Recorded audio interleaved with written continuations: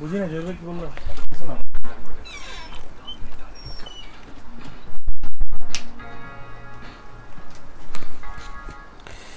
Hello welcome back again শুনছেন, দেখছেন রাত ড্রাইভ রটবে কমফি কমফোর্টার জানাতে চাই বিশ্বমানের ভারী ডিজাইনের কমফি কমফোর্টার আপনাকে দারুণ এক উষ্ণতা পাওয়া যাচ্ছে। রিগেল এম্পেরিয়াম বেস বাই অথবা ডট কম স্বপ্ন দ্বারা ডেলি শপিং এগুলো সহ সকল রিটেল পয়েন্টে কমফি কমফোর্টার উষ্ণতায় আমরা রয়েছি সোহান রহমান সোহান এবং তার চলচ্চিত্র যাত্রা নিয়ে এবং দারুণ এক গল্প এবং হিস্ট্রি আসলে ধারাবাহিকভাবে আমরা একটু শুনছিলাম।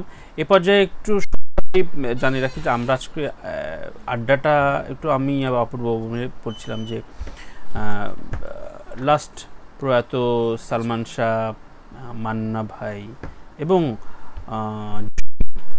এই তিনজনকে ডেডিকেট করতে চাই আজকে শোটা। আচ্ছা, সো সেই ক্ষেত্রে আজকে আমরা যখন কথা বলছি তখন মান্নার মৃত্যুবার্ষিকী আজকে। সো শ্রদ্ধাভারে স্মরণ করি, আমরা ছিলাম আপনার প্রথম চলচ্চিত্র নিয়ে। শোন ভাই, আপনি যখন কাজ শুরু করেছেন, আপনার এবং আমরা প্রায় সময় আলোচনা করি বা বিভিন্ন সেমিনার বা আড্ডাতে বলি যে এতেশম ভাইয়ের পরে আসলে খুব সার্চিং মন মানসিকতা নিয়ে আপনি ফিল্ম ইন্ডাস্ট্রিতে কাজ করেছেন।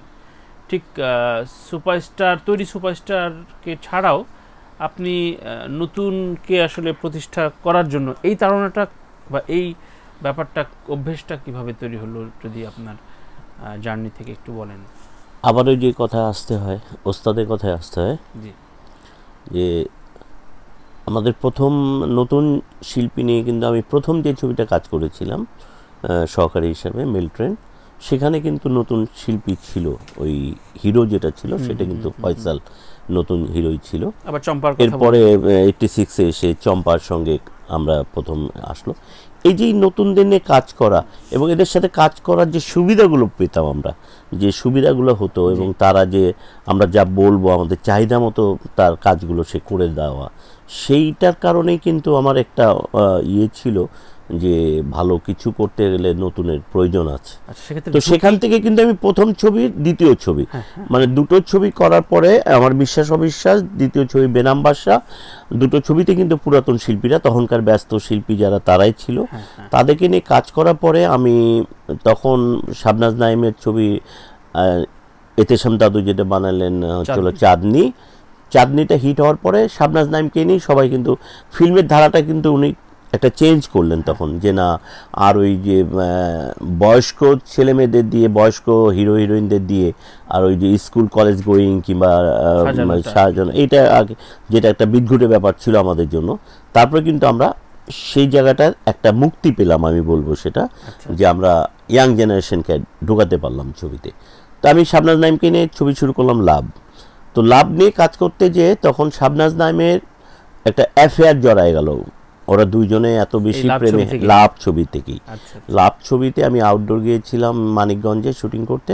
তো মানিকগঞ্জে ওখানে শুটিং করার পরে ওখানেই পরে জানতে পারলাম যে ওখানটা থেকে তাদের অ্যাফেয়ারটা শুরু হয় লাভ আচ্ছা, ছবি আচ্ছা। ওখান থেকে।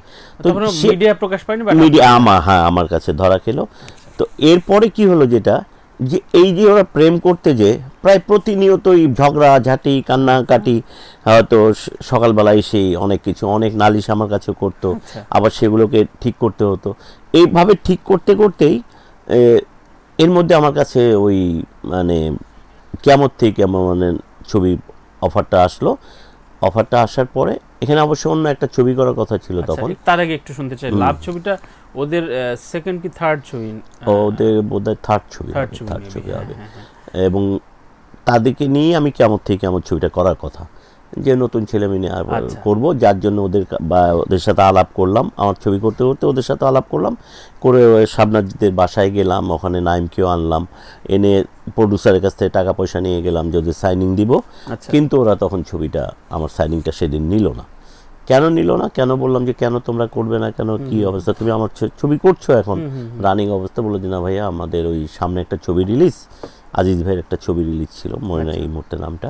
তো ওই ছবি রিলিজে ওরা চিন্তা করেছিল যে ছবিটা রিলিজ হলেই আবার সুপারহিট একটা ছবি হবে এবং ওদের রেমুনারেশনটা বেড়ে যাবে।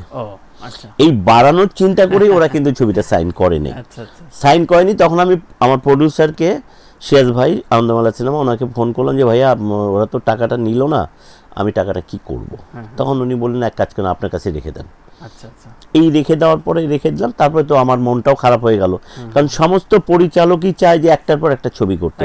হ্যাঁ সুতরাং একটা ছবি ভালো একটা গল্প ভালো একটা জিনিস চান্স পাওয়ার পরে সেটা না জয়, করাচ্ছে জয় জয়, জয়ের একটা আমি আমি একটা প্রশ্ন রেখে কেমন থেকে আমাদের দিকে যাব সেটা হচ্ছে নতুনদের ক্ষেত্রে আসলে ঝুঁকিটা কতটা অনুভব করতেন? বা ইন জেনারেল সবাই কতটা তখন ঝুঁকি মনে করতাম। আগে আমি কিয়ামত বানানোর আগে কিন্তু আমি ঝুঁকি মনে করতাম। এবং কিয়ামত বানানোর পরেও আমি অনেক ঝুঁকি মনে করতাম যে আমি একটা কপিরাইট ছবি বানালাম এই ছবিটা দর্শক কীভাবে নেবে জানি না। কারণ এটা বোম্বেতে হিট ছবি। সেখানে কেমন সে কেমন থেকে শিল্পীরা হচ্ছে খুব মানে মনে হয়েছে অনেক পারফেক্ট অভিনয় করেছে ম্যাচিউড অভিনয় করেছে। ওখানকার গান ওখানকার পরিবেশ ওখানকার ফাইন্যান্স ওখানকার ড্রেস ওখানকার সব কিছু মিলিয়ে একটা মারাত্মক একটা ছবি বলব আমি।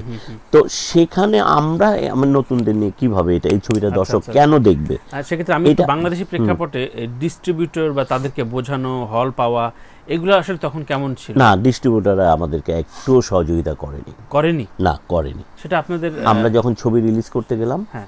ছবি রিলিজের সময় আমরা ছাব্বিশটা প্রিন্ট করালাম এফডিসি থেকে আচ্ছা। কিন্তু আমার ছবি গেল মাত্র সাতটা প্রিন্ট ও তখন তো প্রিন্টগুলো অনেক এক্সপেন্স এক্সপেন্সিভ ছিল। তো তার মানে একটা বড় যুদ্ধ করতে হয়েছে। একেবারেই যুদ্ধ করতে হয়েছে। হয়েছে। তো আপনি আপনার কাছে টাকাটা রইল ও এখন যেটা হচ্ছে হ্যাঁ। টাকা রইল তারপরে তো আর্টিস্ট খুঁজছি। পাচ্ছি না পাচ্ছি না এরকম অনেকেই দেখছি। অনেক পুরাতনদের মধ্যেও থেকে দেখছি যে কীভাবে কি করা যায়। তারপরে একজনের নাম বলবেন যাদের নক বা ভাবার টেবিলে ভাবছিলেন। ওটা বলছি আমি আচ্ছা। আসছি। ওই যখন ভাবছি অনেকের সাথেই তখন তো শাবনাজ নাইম তো হলো না যেহেতু। আরও কিছু যারা ছেলেমেয়েরা আছে তাদের সাথে আমি তখন চিন্তা করছি না নতুনই আমাকে বের করতে হবে একটা। আচ্ছা। ওদের চেয়ে বেটার কিছু করা যায় কিনা দেখি। তখন এফডিসিতে আমাদের পরিচালক সমিতিতে দৈনিক বাংলা পত্রিকায় পত্রিকাতে দেখতে দেখতে হঠাৎ একটা মেয়ের ছবি দেখলাম যে একটা মেয়ে ক্লোজ আপ টোটাল তার মাথার সামনে দিয়ে এক সাইড থেকে চুল মাথা ইয়ে দিয়ে পরানো সামনে পড়ে আছে। তো ক্লোজ আপটা আমার কাছে ভালো লাগল। আচ্ছা। ভালো লাগার পরে আমার পাশে তখন আরও পেপার দেখছিলেন আমাদের শ্রদ্ধেয় ক্যামেরাম্যান ছিলেন একজন খুব নাম করা ক্যামেরাম্যান তাকে আমি বললাম যে ভাইয়া দেখেন এই মেয়েটাকে মনে হচ্ছে যে বেশটা বেশ ভালো লাগবে। আচ্ছা। তখন যে না আমি মেয়েটাকে দেখেছি। এত একটা অ্যাঙ্গেলই ভালো আর ভালো না। মানে সরাসরি দেখেছি? সরাচ্ছে হ্যাঁ উনি বলে যে আমি দেখেছি ভালো না। তো ওনার কথা শোনার পরে আমি কিন্তু আশ্বস্ত হলাম না। আচ্ছা। আমি এরপরে চিন্তা করলাম যে মেয়েটাকে আমাকে দেখতে হবে। এরপরে ওই আমার অফিস থেকেই গুলজারকে ফোন দিলাম। মুশফিকুর রহমান গুলজার যে এখন প্রেসিডেন্ট পরিচালক সমিতি। ওকে ফোন দিলাম ফোন দিয়ে বললাম যে গুলজার এরকম একটা মেয়ের ছবি দেখলাম। তো তুমি একটু তার সাথে একটু দেখো না মেয়েটা কোথায় থাকে এবং কি করে। তুমি একটু তার একটা ইন্টারভিউর ব্যবস্থা করো। আমি তোমার ইন্টারভিউর সময় আমি তোমার সাথে যাব এবং মেয়েটাকে দেখব আমি। এই বলে। আর এর মধ্যে গুলজারের সাথে আমার পরিচয় কিন্তু আমার ওই প্রথম ছবি বিশ্বাস অবিশ্বাসে আচ্ছা, একটা মানে রিভিউ করেছিল। সেখান থেকে আমাদের সাথে একটা বন্ধুত্বপূর্ণ আচ্ছা, সম্পর্ক হয়। তো যার জন্য ওকে বলতে পারছি। হ্যাঁ, তারপরে গুলজার ব্যবস্থা করল। সেই মোতাবেক আমরা গেলাম। কথাবার্তা বলছি কথাবার্তা মানে বলছি। পত্রিকা না পত্রিকা থেকে ওদের বাসায়। আচ্ছা আচ্ছা। ওদের বাসায় গেলাম বাসায় গিয়ে গুলজার গুলজারের মতো ইন্টারভিউ নিল। আমি ওখান থেকে বসে দেখছি। মৌসুমি কি ঢাকায় থাকতেন? হ্যাঁ ঢাকায় থাকতো মোহাম্মদপুরে থাকতো। আচ্ছা আচ্ছা। তো তারপরে আমি আমার বাসার থেকে এক কিলোমিটার মতো ডিস্টেন্স ছিল। আচ্ছা আচ্ছা। তো তারপর সাথে কথা বলতে বলতে গুলজারকে সাথে কথা বললাম ফিল্ম নিয়েও কথা বললাম আমরা যে ফিল্মে করতে চাই কিনা অভিনয় করার শখ টক আছে কিনা কি আছে কিনা হ্যাঁ, হ্যাঁ। সব বিষয়ে জানার পরেও দেখলাম যে নিম রাজিও না আবার মানে একটু কখনো কখনো মনে হয়েছে যে বোধহয় ভালো কিছু পেলে করতে পারে এরকম একটা ভাব ধারণা থেকে আমরা ওদের সাথে গল্প নাস্তে আস্তে করে ওখান থেকে ব্যাক করলাম। ব্যাক করার পরে আমি গুলজারকে বললাম যে তুমি বলে দাও এখন টেলিফোনে যে আমি পরিচালক এটা ওকে জানাও। তো এই গুলজার পরে জানায় দিল ওদের কাছে। এরপরে ওদের সাথে আমাদের একটা সক্ষতা তৈরি হয় এইভাবেই আচ্ছা। তখন ও বলল না ছবি করবে না ওর বাবা মাও দিবে না ছবি করতেই করতে তখন স্ক্রিপ্ট নিয়ে কোনো আলোচনা? স্ক্রিপ্ট নিয়ে কোনো আলোচনা কোনো কিছু আলোচনা। এর মধ্যে একদিন মানে আমরা একটা প্রেশারে রাখলাম যে তুমি যদি কখনো ছবি করো তাহলে আমাদেরকে বলল আর কি আচ্ছা। তো এর ম- ওদের বাসায় একটা জন্মদিন হলো জন্মদিনেও আমরা গেলাম আমি গুলজার গেলাম। এই কথাবার্তা হতে হতে একদিন রাত তিনটার সময় আমি ফোন পেলাম। রাত তিনটায়? রাত তিনটার সময় তিনটার সময় ফোন আসলো ফোন করে মৌসুমি ফোন করেছে করে বলল যে ভাই আমি করব ছবি আপনি ব্যবস্থা করেন। এত রাতে? এত রাতে ফোন করে বলল। আচ্ছা। তো আমরা তো ওটার জন্য অপেক্ষা করছিলাম। হ্যাঁ হ্যাঁ হ্যাঁ হ্যাঁ। সঙ্গে সঙ্গে প্রডিউসারকে বললাম প্রডিউসারের সঙ্গে আরেকজন জয়েন্ট প্রডিউসার ছিলেন আমাদের সুকুমার দা। আচ্ছা। পরের দিন রাতে দেড়টার সময় সারাদিন আলোচনা করে সব কিছু করে কাগজপত্র রেডি করে আমরা পরের দিন রাত দেড়টায় যে মৌসুমীকে সাইন করালাম। সেই ছবির জন্য। সেই ছবির জন্য। আচ্ছা তখন কিন্তু সিদ্ধান্ত হয়নি যে আমরা কোন ছবি করব। না কেমন থেকে কেমন নাই। কোনো সিদ্ধান্ত নেই। আচ্ছা আচ্ছা। যে একটা ছবি করব সেটার জন্য মৌসুমীকে সাইন করাই রাখলাম এরপরে হিরো কোথায় পাই? হিরো খুঁজতে খুঁজতে খুঁজতে খুঁজতে তখন নতুন নেবেন। হ্যাঁ হ্যাঁ হ্যাঁ। তারপরে আমিন খান তখন নতুন এসছে। তারপরে নাদিম নামে একটা ছেলে ছিল সেও হিরো হয়েছে পরে। এরকম তারপরে তৌকিরের কাছে গেলাম। মানে মৌসুমীর সাথে ম্যাচ করায় কাকে পাওয়া যায় আর কি? ওই ট্রাই করছি। করতে করতে আমার প্রডিউসার যে সিরাজ ভাই তখন আমাকে একটা ছবি দিল যে দেখেন আপনি তো খুঁজতেছেন এই যে একটা ছেলে এই ছেলেটা অভিনয় করতে চায় আপনি দেখেন। দেখেন হ্যাঁ করতে চাই দেখেন এই ছেলেটাকে যদি আপনার পছন্দ। তো আমি ছবিটা দেখে আমার খুব একটা পছন্দ হয়নি কিন্তু। পছন্দ হয়নি। না পছন্দ হয়নি কেমন হাতগুলো ছোট ছোট একটু একটু কেমন আচ্ছা, কি অবস্থা স্টিল ছবিতে তো হ্যাঁ হ্যাঁ। একটা সাইকেল নিয়ে ঘাড়ে নিয়ে যাচ্ছে। তো বললাম যাচ্ছে ঠিক আছে তারপরও চেষ্টা করি দেখা যাক। প্রডিউসারকে বললাম যে কোথায় পাবো কোথায় কীভাবে? বলল যে তখন আপনাদের হিরো আলমগীর সাহেবের ওয়াইফ তাকে ফোন করেন উনি আপনাকে ডিটেলসটা দিতে পারবে। আচ্ছা আচ্ছা। এই আলমগীর ভাইয়ের ওয়াইফকে ফোন করলাম। খসরুল আলমগীর। ভাবিকে ভাবিকে ফোন করে বললাম যে ভাবি এরকম একটা ছেলের ছবি দিয়েছেন আপনি এই ছেলেটার ডিটেলসটা কি? তখন উনি নাম টেলিফোন নাম্বারটা দিল আচ্ছা। নামটা বলল। এরপর আমি নাম্বারে ফোন করলাম। ওই পার থেকে ধরলো একটি লোক সে বোধহয় কেয়ারটেকার টাইপের কেউ হবে। সে বলল যে ছোট সাহেব তো কখনো বাড়িতে ফেরে রাত্রে তিনটা দুইটা তিনটার দিকে আবার কখনো ফেরেও না। প্রথমেই তো আমি একেবারে মাইনাস যে না এটা তো ফিল্মে হিরো হইতে পারে না। তখন শেষ আবার ওটা ক্লোজ হয়ে গেল। এরপরে আমি আর আমাদের ডান্স ডিরেক্টর আমির হোসেন বাবু ভাই ছিল আমরা দুজনে মিলে আরেকটা ছেলের সন্ধান পেলাম। তো ওই ওদের যে সন্ধান নিল সে বলল যে আপনারা ইয়েতে আসেন ম্যাকডোনাল্ডস চাইনিজ রেস্টুরেন্ট ওই যে আট নম্বরে ছিল ধানমন্ডি ওখানে আসেন আমি ছেলেটাকে নিয়ে আসব। সেই মোতাবেক আমরা ওখানে গেলাম সেই দেখা করতে। ছেলেটাকে? সেই ছেলেটাকে দেখা করতে গেলাম। দেখা করতে দেখা করে ছেলেটা পছন্দ হলো না। পছন্দ হলো না? না নেগেটিভ ফিরাই দিলাম। না না না পেয়াদবের জন্য না। আসলে আমাদের যেটা আমরা চাচ্ছি যে একটা ছেলেকে. দেখলে হিরো হইতে হবে। তো হিরোর মতো নাতে মানুষ পছন্দ করবে কেন? হ্যাঁ এরপরে কিন্তু আমি আবার ওখান থেকে পরে বা- মন টন খারাপ হওয়ার পরে গেল আমি ওখানকার ওই কথা বলতে বলতেই ওখানে টেলিফোন নিয়ে ওই ম্যাকডোনাল্ডসের টেলিফোন থেকেই টেলিফোন করলাম ওই নাম্বারে আবার। করেই ধরলো ইমন। ইমন ধরে কথা বলল আমি বললাম যে আমি তোমার সাথে একটু দেখা করতে চাই তোমার সাথে একটু কথা বলতে চাই। আচ্ছা। আমি এরকম একজন ছবির পরিচালক। তখন হ্যাঁ ভাইয়া আমি আর কোথায় আসতে হবে? আমি বললাম আমি এখানে আছি মানে আবার ম্যাকডোনাল্ডসে আবার ফোন ফোন দিলেন আবার ফোন দিলাম হ্যাঁ আচ্ছা, আচ্ছা। আবার ফোন দিলাম।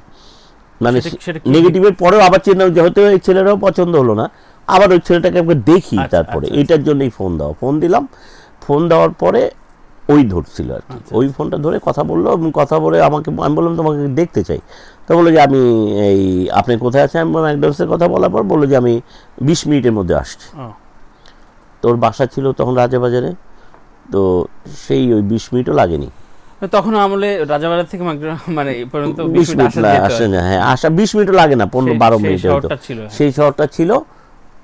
মজার ব্যাপার হচ্ছে ওই রেস্টুরেন্টের মধ্যে প্রথম দিকেই বোধহয় সিসি ক্যামেরা ছিল আমার মনে হয় যা। আচ্ছা আচ্ছা। যে ওই টেলিভিশনে একটা বড় একটা। টেলিভিশন ছিল ওখানে যে আসছে বের হচ্ছে দেখা যাচ্ছে। তো আমি ও তো হলো বিশ মিনিটের কথা তো আমরা ওখানে খাচ্ছি দাচ্ছি ইয়ে করছি। হঠাৎ দেখলাম একটি ছেলে এসে কাউকে খুঁজতেছে। খুব স্মার্ট ভালো লাগল দেখতে। আমি বললাম বাবু ভাই আমি বোধহয় হিরো পেয়ে গেছি মনে হচ্ছে। আচ্ছা। তো ভাবে হলো কোথায় পাইলা? আমি বললাম দেখেন টেলিভিশনে দেখেন। বাবু ভাই দেখল দেখো ভালোই তো মনে হচ্ছে। এই তারপরে ওকে আমি ডাকলাম জিজ্ঞেস করলাম বলল যে আমাকেই খুঁজতেছে। তখন ওই কথা বললাম যে আমি এরকম ছবি বানাতে চাই একটা রোমান্টিক ছবি বানাবো তুমি কি কাজ করতে চাও? বলল হ্যাঁ আমি কাজ করতে চাই। তাই বললাম তাহলে তো তোমার বাবা মার পারমিশন লাগবে তখন বলল যে আপনি বাসায় যেতে পারেন আব্বা নেই আম্মা বাসায় আছে এখন আম্মার সাথে কথা বলতে পারেন। আচ্ছা। এই তারপরে ওকে নিয়ে রিক্সায় করে আমরা ওর বাসায় গেলাম। ওর বাসায় যাওয়ার পরে মানে এটা একটা মানে অ্যাক্সিডেন্টাল ঘটনা যে ওর মাকে দেখে আমার পরিচয় দেওয়ার পরে ওর মার পরিচয় পেয়ে দেখলাম যে আমার একটা ভাবি ছিলেন মারা গেছেন এখন। ভাবির বান্ধবী হচ্ছে ওর মা। এই পরিচয়টা হলো। তাতে করে সুবিধাটা আমার হলো তখন ওর মা আমাকে কথা শোনার পরে বলে যে আমি তোমার আমার ছেলেকে তোমাকে দিয়ে দিলাম। তোমাকে দিয়ে দিলাম তুমি ওকে কীভাবে কি করো তুমি করো যাও। আচ্ছা। এই এখান থেকে তখন সালমান স্টাডি ও- তখন ডিগ্রিতে পড়ছিল। আচ্ছা, আচ্ছা, ডিগ্রি পড়ছিল। তখন ওই স্ক্রিপ্টটা রেডি বা তখন না কিছু হয়নি। ওই যে রাস্তায় যেতে যেতে ওর সাথে রিক্সায় যখন যায় ওদের হ্যাঁ, বাসার দিকে তখন কথায় কথায় ও বলছিল আমি বললাম যে আমাদের প্রডিউসার তো পাঁচটা ছবি কপিরাইট এনেছে। হ্যাঁ। তো কেমন থেকে কেমন সে কেমন তাক তারপরে সানাম বেওয়াফা দিল তো এরকম পাঁচটা ছবির নাম বলার পরে ও তখন বলছে ভাই আমি না কেমন সে কেমন তাক ছবিটা সাতাশ বার দেখেছি। ও বলল। ও বলল। তাই বললাম তার মানে কি তোমার সাথে তোমার তো মনে হচ্ছে কেমন সে কেমন ছবিটাই তোমার পছন্দ যে এটা আমার খুব ভালো লাগে ছবিটা। তার মানে তার মানে তুমি এটাই করতে যাচ্ছ। ওকে? আচ্ছা তারপরে তখন এখানে একটু থামাচ্ছি। প্রিয় দর্শক শ্রোতা যারা শুনছেন আসলে আমি বিভিন্ন রকম আড্ডায় সন্ধ্যার সাথে আড্ডা দেওয়ার সুযোগ হয়েছে। এই গল্প রেস্টুরেন্ট ম্যাকডোনাল্ডস এই সালমান শাহ আসার অনেক রকম গল্প এবং শুনেছি এই স্ক্রিপ্টটা। বাট যতবারই শুনি না ততবারই মনে হয় একটা হিস্ট্রি আমরা ইতিহাসের ভেতর দিয়ে আমরা হাঁটছি। এনিওয়ে আমরা চলচ্চিত্রের এই সালমান শাহ তৈরি হওয়া এবং সেই সময় স্বর্ণালী যুগের সোহানুর রহমান সোহানের কাজ এবং চলচ্চিত্র পাঠ আরও শুনব। ছোট্ট একটা গানে বিরতি নিয়ে ফিরছি। চলছে রাত আড্ডা ব্রট বাই কমফি কমফোর্টার জানাতে চাই বিশ্বমানের ভারী ডিজাইনের এই কমফি কম্পিউটার আপনাকে দেবে দারুণ উষ্ণতা। পাওয়া যাচ্ছে রিগাল এম্পিরিয়াম বেসবা অথবা ডট কম স্বপ্ন, দারাজ ডেলি শপিং আগরা সহ সকল রিটেল পয়েন্টে কমফি কমফোর্টার আপনার দিন কাটুক শীত কাটুক উষ্ণতায়। ছোট্ট একটা বিরতি নিয়ে ফিরছি সঙ্গে থাকুন।